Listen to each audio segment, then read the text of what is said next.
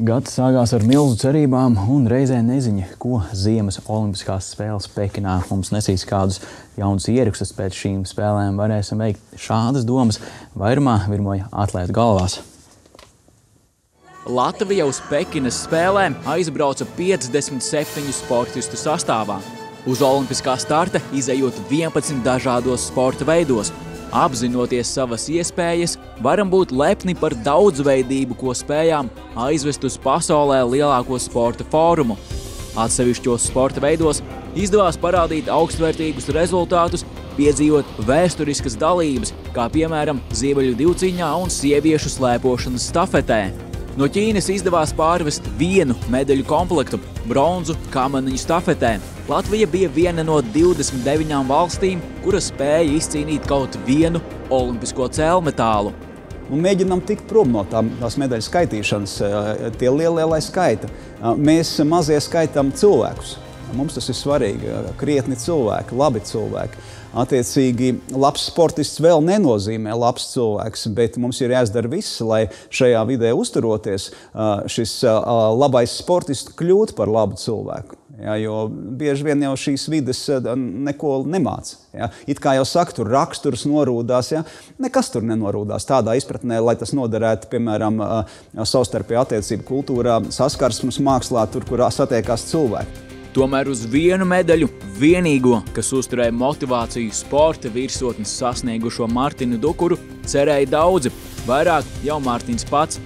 Olimpiskais zelts arī šoreiz palika nesasniegts. Kā ir, tā ir, un nu, tas ir sports, trīs vietas vien ir, un, un kat, katrai, katrai paudzei ir savs laiks. Nu, bija laiks, kad es stāvēju tur, un man bija iespēja pacīnīties pa zeltu, un bija ļoti tuvu Nu, šobrīd es esmu es attālinos. Par neizmantoto iespēju stāstiem jārunā arī Latvijas hokeja valstsvenības kontekstā.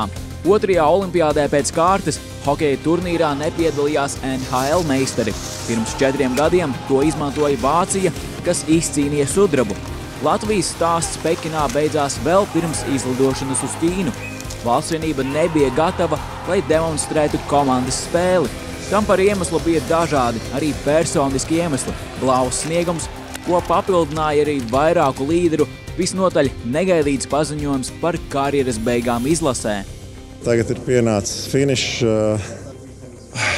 Es zinu, ka es šodien sev rokas nograuzīšu, ja, ka, ka neaizgājām tālāk.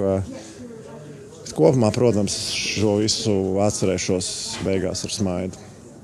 Tas nav uz emocijām lēmums pieņemts. Un, uh, To lēmumu jau es pieņēmu pa lielam kvalifikācijas laikā. Un, un šis bija tāds, gribējās skaisti aiziet, bet nesanāca.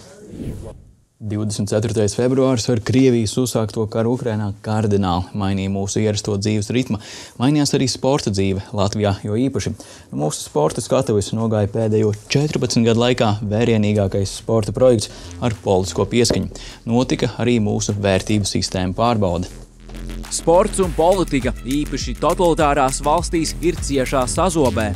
Krievija pēc agresijas uzsākšanas lūkoja pēc ārzemju sportistiem, kuri par nesamērīgi lielu atalgojumu pievērtu acis uz šobrīd notiekošo un dotos uz Krieviju. Morālās dilemmas jautājums. Turklāt Latvijas sportistiem no praktiskās puses tas nozīmē arī durvju aizvēršanu uz valsts vienību.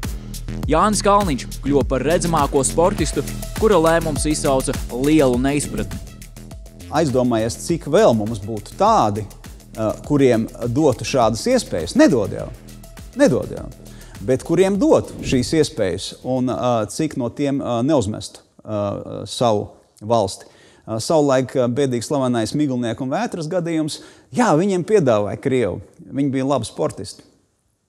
Bet, ja no tās VF komandas, kuru tolaik viņi pārstāvēja, vēl kādiem pieciem piedāvāt, mums būtu vēl pieci tādi vētri un miglinieki, kas, kas mierīgi varētu pagriezt muguru Latvijai. Un tajā brīdī tā notika.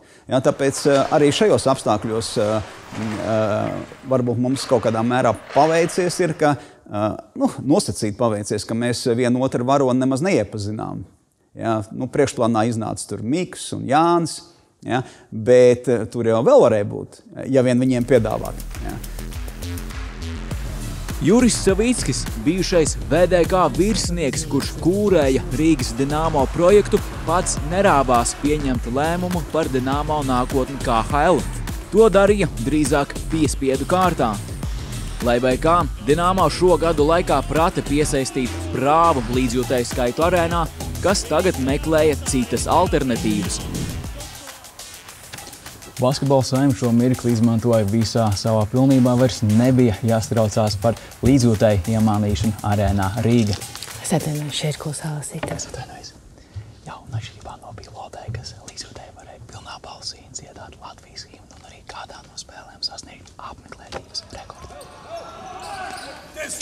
We cannot ask Martic Latvijas Basketbola valsts vienība ar astoņām uzvarām oficiālajās spēlēs atgrieza izlases interesi vietējo līdzjūtāju acīs.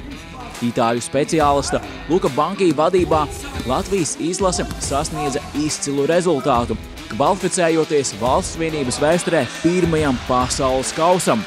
Līdzjūtēji to novērtēja ar spēļu apmeklētības rekordiem. Ja mums ir lielāki ieņēmumi, tad mums attiecīgi ir nepieciešami lielāki izdevumi, jo mēs saprotam, ka uzreiz uz apsardzi tiek tērēts vairāk, uzreiz mēs domājam par mārketingu, kā izklaidēt nevis 2000, bet jau 11,000. Tas arī ir jautājums. Un, protams, ja mēs kaut ko nopelnām, tad mēs attiecīgi pēc tam to visu finansējumu ieguldām arī jaunatnē. Būsim reāli izņemot vīriešu izlases pārējām sistēmām, sevi atražot Latvijas ekonomiskajā situācijā, ir ļoti, ļoti grūti. Bankī vadītajā izlasē uzspēlēja visi šobrīd labākie latviešu basketbolisti. Spēlētāji, kā viena no itāļu trenera trumpiem, uzsver spēju komunicēt. Intrigs ir tur, kur ir latviešu treneri, tāpēc ka latviešu treneriem ir kaut kādas kaut kādi vecie, tādi, kā saka, vecās, tā, vecā tāda stila domāšana, otrs šitas tur dzēr tanī bārā, tas tur, es, es viņu atceros, tur šita. Atnāc bankai, viņam ir balta lapa, viņam viss vienādi, jā. Viņam galvenais rezultāts, viņš izmanto spēlētājs, lai uzvarētu. Tur ir tā galvenā intriga. Debiju pasaules kausā Latvijas valsts vienība piedzīvos nākamā gada augustā. Izloze, kurā basketbolisti uzzinās savus pretiniekus, notiks 29. aprīlī. Es domāju, tur cīņa par 12. būs baigā. Tur nebūs tik vienkārši.